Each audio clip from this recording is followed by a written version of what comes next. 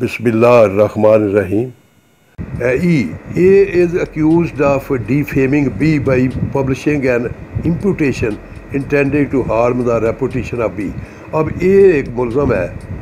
उसने बी के खिलाफ कोई डेफिमेशन की है पब्लिश की है तो उसको ask to harm the reputation of B B की ताकि उसकी जो रेपूटेशन है, उसको नुकसान पहुँचाया जाए।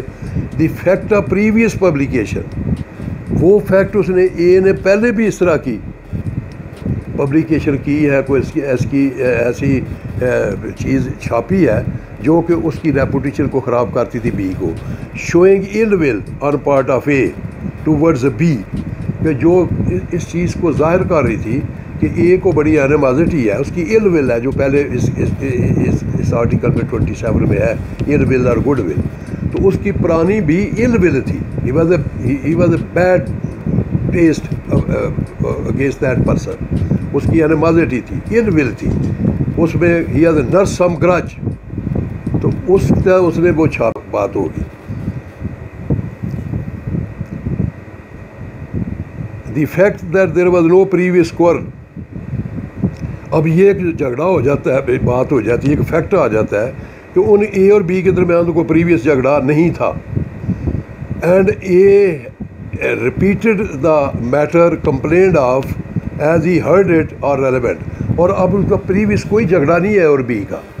लेकिन ये कहता है कि मेरे से ये जो दावा इसने किया मेरे ख़िलाफ़ बी ने, इसका तो जो मैंने बात की है, वो मैंने खुद नहीं की, मैंने सुना था। मैं सुना था showing that A did not attend to harm the reputation B तो ये उसका होगा कि वो अब ए की नीयत नहीं थी, it was in good faith ये फेथ में कि जो बात सच्ची हो, वो लिखी जाए। वो if it is in good faith तो फिर वो इस तरह लाइबल नहीं होगा। क्योंकि उसने सुनी थी। ये लेकिन ये उस पर बात होगी कि अगर उसने सुनी थी तो उसने वेरीफाई की होती। लेकिन उसने उसी को छाप दिया है। लिहाजा उसको को पुराना झगड़ा भी उससे नहीं है। उसने सुनी सुनाई बात कर दी है। लेकिन उसकी कोई इल विल नहीं थी। उसमें good good good will pay बात की है। ये इल विल और गुड विल के लिए। है A is sued by B A ने बी की बी के ए के ख़िलाफ़ बी ने दावा कर कर कर दिया बी ने। For fraudulently representing to B उसने कहा कि तू मुझे बदनिश्ती से फ्रॉड से धोखेदही से तू बी को रिप्रेजेंट कर रहा था। उसको बी को रिप्रेजेंट करने में क्या कर रहा था? दैट सी वाज सॉल्वेंट कि सी बड़ा मालदार आदमी है, उसके बाद बड़े पैसे हैं। तू फ़िक्र ना कर। ये जो बी ने दावा किया ना ए के ख़िलाफ़, उसमें उसने बी को रिप्रेजेंट किया था, बी को ये यकीन दिलाया था, ए ने, कि ये सी जो आदमी है वो बड़ा सॉल्वेंट है। वेयर बाई जिसके तहत वो बी जो है being induce to trust C कि उसने कहा कि इसको एतबार कर लो, बी ने कहा। और वो उसने एतबार किया, लेकिन वो सॉल्वेंट नहीं था। वो इनसॉल्वेंट था, वो दिवालिया था। जी तो उसने उसकी वजह से बड़ा लॉस हुआ। The fact that the time when A जब ए ने सी को कहा to be solvent C was suppose to be solvent by his neighbour and by person dealing with him is relevant as showing that A made the representation good faith लेकिन जब उसने कहा सी ने कहा कि मैंने तुमको जो इतबार दिया था ना कि ये ये बंदा अच्छा है, ये सॉल्वेंट है। मैंने अपनी तरफ़ से नहीं कहा। उसके हमसायों ने भी कहा था कि ये बंदा अच्छा है, ये सॉल्वेंट है। लिहाजा मेरी कोई बुरी नीयत नहीं है। I said so in good faith लिहाजा मेरे ख़िलाफ़ आप दावा नहीं कर सकते जो आपको नुकसान हुआ है। कि मैंने तो इन गुड फेथ आपको बताया था। क्योंकि उसके नेबर भी सारे कह रहे हैं सराउंडिंग सरकमस्टांस भी कह रहे हैं कि वो बंदा तो इन इनसॉल्वेंट नहीं था। लेकिन अगर वो निकल आया है तो उसमें मैं डायरेक्ट ज़िम्मेदार नहीं हूँ। ये है इसमें।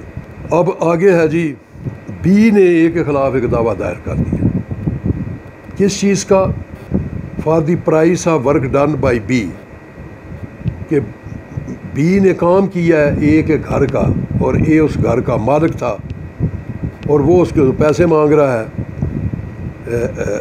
On the order of the C A contracted और उसने बी ने उसके ए के घर में काम किया है।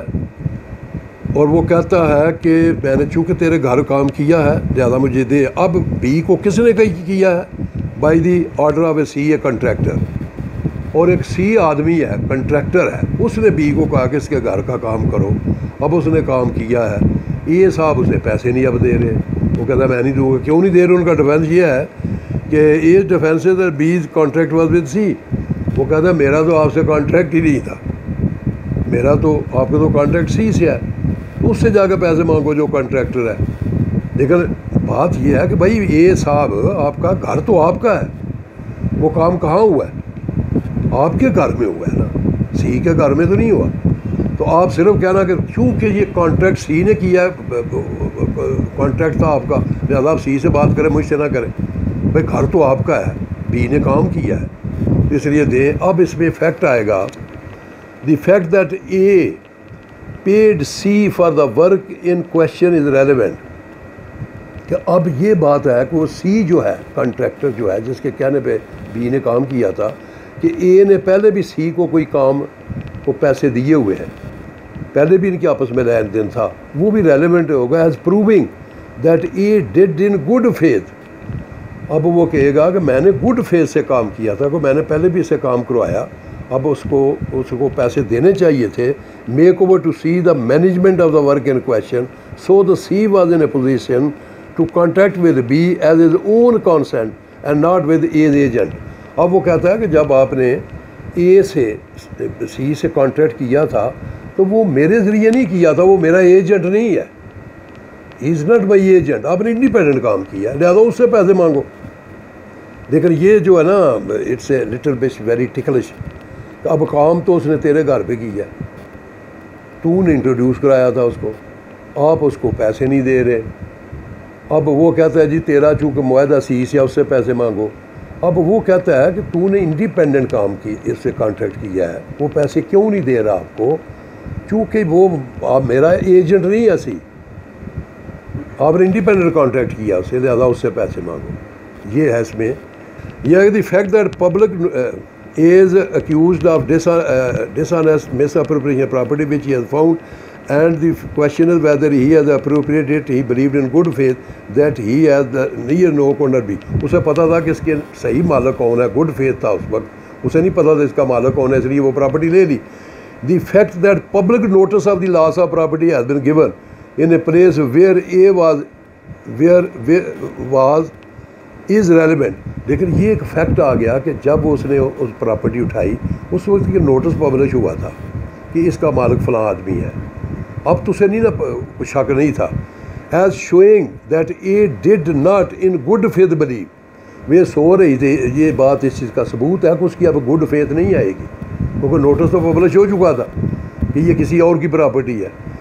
And the real owner of the property could not be found आगे है the fact that A knew or had reason to believe that the notice was given fraudulently by C who has heard of the loss of the property and wished to set up a false claim to it.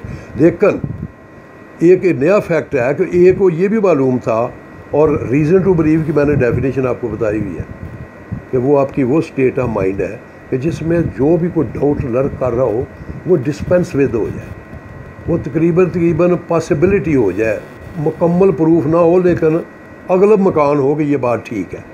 तो अब वो उसको reasonable believe था उसका that the notice was given fraudulently अब उसे पता है जो नोटिस दिया भी गया था उस वक्त, वो फ्राडुलेंटली दिया था दिया था सी ने क्यों? Who have heard of the loss of the property and wish to set up a false claim to it तो उसने सुना हुआ था कि इसकी प्रॉपर्टी लॉस हो गई है, लिहाजा उसने एज ए डिफेंस ये नोटिस दे दिया।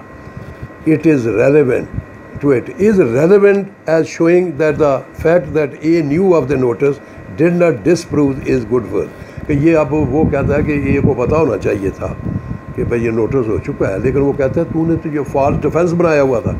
लिहाजा मेरी बैड फेथ नहीं है। मेरा गुड फेथ थी कि ये भी इसका कोई मालिक नहीं है।